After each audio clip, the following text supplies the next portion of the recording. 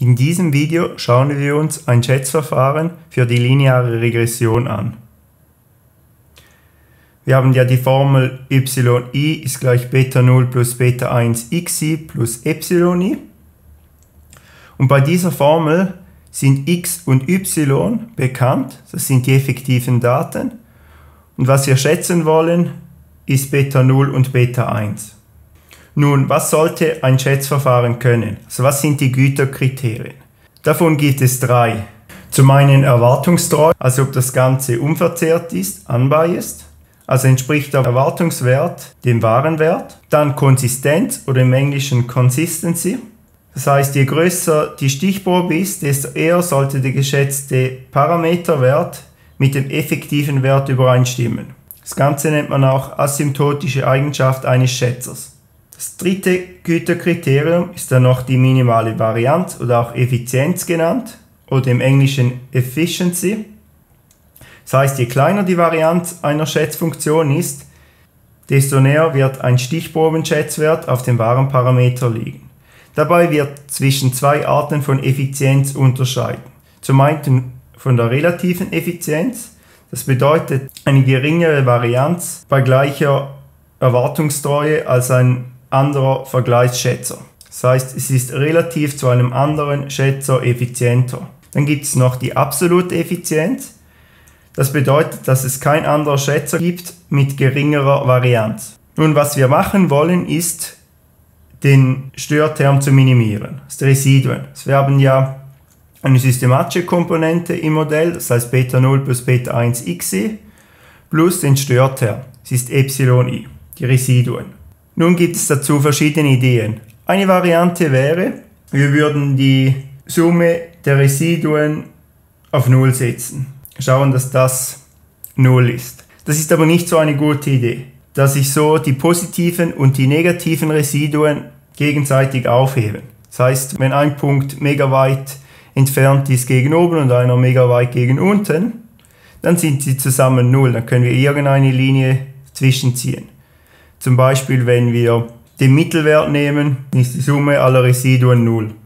Also könnten wir sagen, ja gut, in dem Fall nehmen wir den Betrag der Residuen, damit sowohl Abweichungen gegen oben als auch Abweichungen gegen unten sich nicht gegenseitig aufheben, sondern addiert werden. Das ist grundsätzlich eine gute Idee. Jedoch zeigt sich, dass mit der Betragsfunktion das Schätzverfahren komplizierter wird, nicht so einfach geschätzt werden kann.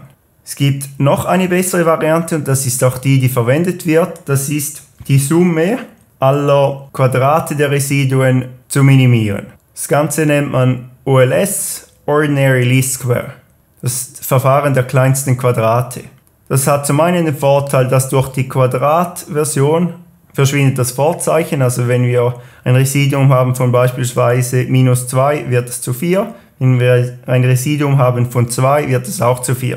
Der andere Vorteil ist, was ein großer Vorteil gegenüber der Betragsfunktion ist, neben der einfachen Schätzweise, ist, dass größere Abweichungen stärker bestraft werden. Das heißt, wenn wir einmal eine Abweichung von 1 haben und nochmal eine von 1, dann wäre das bei der Betragsfunktion das gleiche, wie wenn wir einmal eine Abweichung von 0 hätten und einmal eine Abweichung von 2. Bei der quadratischen Version ist aber die erste Variante besser weil wir dann 1 im Quadrat plus 1 im Quadrat gibt 2, während 0 im Quadrat plus 2 im Quadrat 4 gibt. Das heißt, die quadratische Variante ist die optimale Variante, das Ganze zu schätzen. Wenn wir uns das nun in einem Beispiel anschauen, dann sehen wir, links wurde als Schätzer der Durchschnitt von y genommen. Das gibt einen Erwartungswert von 0.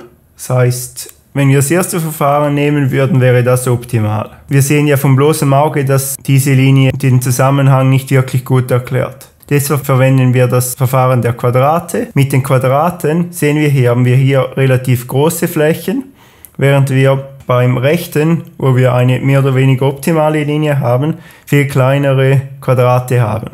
Das ist das sogenannte OLS-Verfahren, wie schon gesagt, Ordinary Least Square. Und das Gute an OLS ist, dass es Blue ist, sofern gewisse Annahmen erfüllt sind. Blue bedeutet Best Linear Unbiased Estimator oder auf Deutsch bester lineare unverzerrter Schätzer. und das noch mit der geringsten Varianz. Das heißt, es gibt kein besseres Schätzverfahren als OLS. Es wurde gezeigt, keines kann einen besseren Schätzer geben, der die Gütekriterien besser erfüllt als OLS, sofern gewisse Annahmen erfüllt sind. Die Annahmen sind folgende. Zum einen wird Linearität vorausgesetzt, das heißt die Beziehung zwischen der abhängigen und der unabhängigen Variable ist linear. Dann geht OLS von einer Zufallsauswahl aus. Dann sollte der Erwartungswert der Fehlerterme 0 sein, also der Schnitt aller Fehlerterme sollte 0 sein. Wenn das nicht der Fall ist, dann ist es nicht erwartungstreu. Das heißt, das ist das erste Gütekriterium ist dann verletzt. Dann des Weiteren sollte Homoskedastizität herrschen. Das heißt, die Varianz der abhängigen Variable ist über alle Werte der unabhängigen Variable konstant. Dann eine weitere Annahme ist, dass die Fehlerterme nicht korrelieren, also keine Autokorrelation vorherrscht und dass keine perfekte Multikolliarität vorliegt. Also wenn wir jetzt zum Beispiel eine Variable Alter hätten, sehr schätzen, und dann nochmals eine Variable Alter 2 hinzufügen, die einfach das Doppelte von Alter ist, dann hätten wir perfekte Multikolliarität, weil mit der einen Variable die andere Variable perfekt vorausgesagt werden kann. Dann gibt es noch eine weitere Annahme, die jedoch für OLS an sich nicht zwingend ist, die jedoch notwendig ist, damit wir Hypothesen testen können. Und das ist, dass die Fehlerterme normal verteilt sind.